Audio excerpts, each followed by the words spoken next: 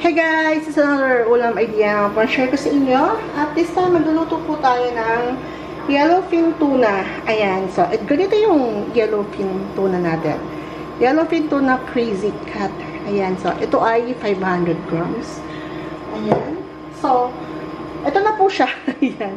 Hinugasan ko na at binawasan dahil sinashimi yung iba. Ayan. Pero fresh po to guys ah. Fresh po ito. Pang sashimi talaga to. Pero gagawin natin, lulutuin natin siya. Ayan, meron ako nakaprepare dito. Pag-start tayo sa butter. Ayan, hinaan natin. Baka masulog si butter. Bili tayo ng butter. So, ayan, habang nagmimelt yung butter natin, naging po natin yung ating yellowfin tuna.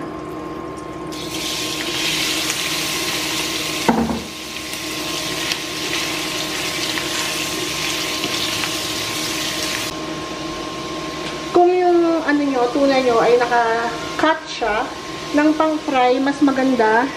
ba? Mas ma-fry mo siya ng konti sa butter ng maayos. Pero yung ganito, okay lang naman din. Tapos aside muna natin siya. Wait lang. Dito po, sa same pan na pinaglutuan natin ng ating yellow tuna, dito na rin tayo magsasote. Ayan, so lagyan natin yung ating sibuyas.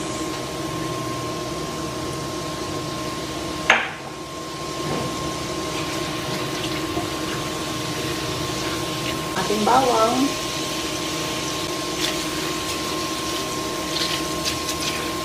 Bango. Naghahalo-halo yung amoy ng butter, ng garlic. And speaking of garlic, meron pala akong ilalagay dito. Para lang mas, alam niyo yun, mas matapang yung lasa ng garlic kahit may garlic na tayo. Maglalagay tayo ng margarine na garlic flavor. Ayan. So, ito po siya. Ayan. Bango. Sobrang bango. At maglalagay po tayo dito ng flour.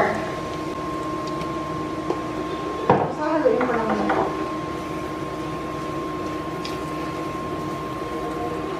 Lagyan natin yung milk natin ng dahan-dahan lang.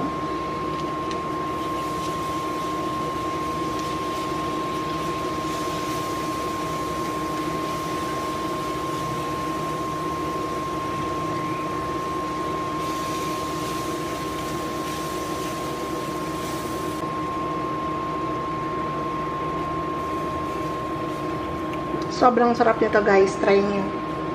At napakadali lang din gawin, di ba? Napakabilis lutuin. Konti pa. Konti na lang. Yan. Enough na siya. Then, nalagay ko na po yung ating mixed vegetables. Ayan. Frozen to. Ito yung mga nabibili sa supermarket na mixed vegetables. Ayan. Ilaw natin siya dyan.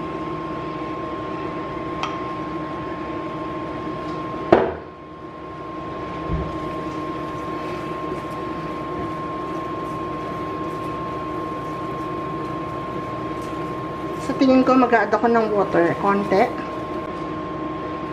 Ayan. So, konting water lang. Tansyahin muna natin. Ayan. Para hindi masyadong thick. And then, titimplahan na natin ng mga seasonings natin. Lagay tayo ng konting basil leaves. Ayan. Ito po. So, tansyahin nyo lang po no, kung gaano kadami nalagay nyo. Basta ng sobrang dami, bahala na po kayo. Nalagay din ako ng konting rosemary. Yan. Masarap kasi sa mga ganitong luto yung merong nalatsahan ng mga herbs. Yan. Siyempre, maglagay tayo ng pepper. Black pepper.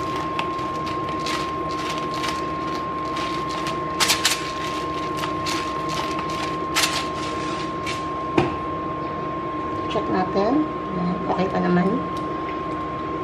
Kung gusto niyo ng mas masarsa, mag-adjust po kayo. Nagdagay niyo ng milk kung gusto niyo or water.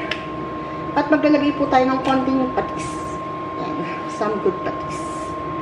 Ito po yung patis ko. Sobrang sarap ng patis na to. Shout out sa manufacturer. Ayan, nabili ko to sa SNR. Sobrang favorite na namin siya. Ayan. Ganyan. So, isi-simmer lang natin para maluto ng konti yung ating nilagay na mixed vegetables. So, ayan po, titikman natin.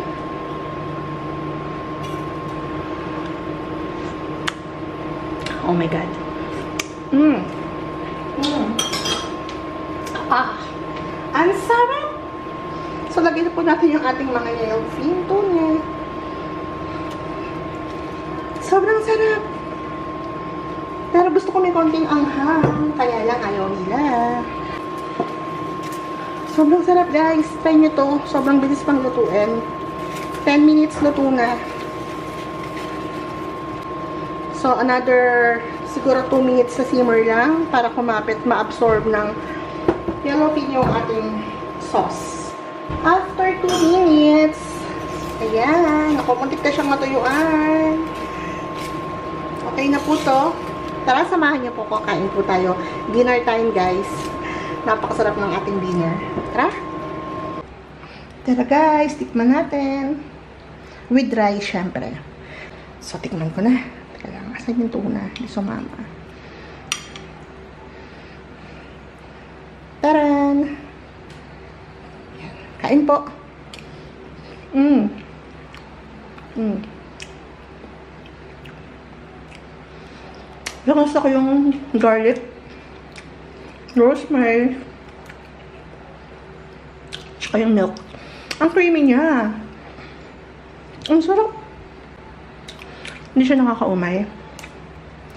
Siguro kung may cream pa, yun, pwede pa. Dahil sobrang rich na pag may all-purpose cream pa. Yung milk, sobrang nagbigay ng rich flavor sa kanya.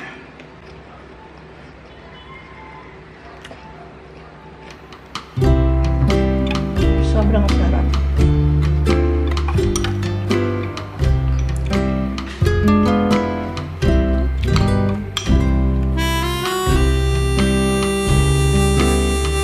Mm. Grabe.